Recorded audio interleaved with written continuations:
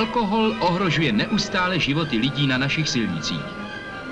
Proto pracovníci veřejné bezpečnosti často kontrolují řidiče, kteří nesedí za volantem, ale v hospodách.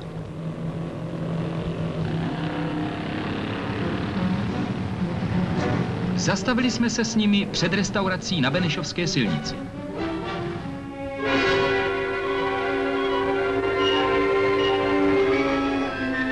Tento řidič vypil jenom jednu desítku a to je ještě přípustné množství. I v hospodě na mlíně se udržovala správná míra. A když jsme přijeli k restauraci u Mníšku, začali jsme už pochybovat, že řidiči vůbec pijí.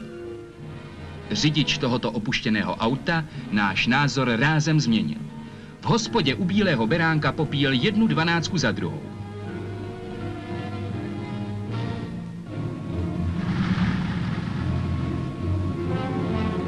Před kontrolním chemickým přístrojem to pochopitelně nemohl utajit. Stačila dvě vydýchnutí a Rostok zpělal. Nepomohly výmluvy ani ostrá slova.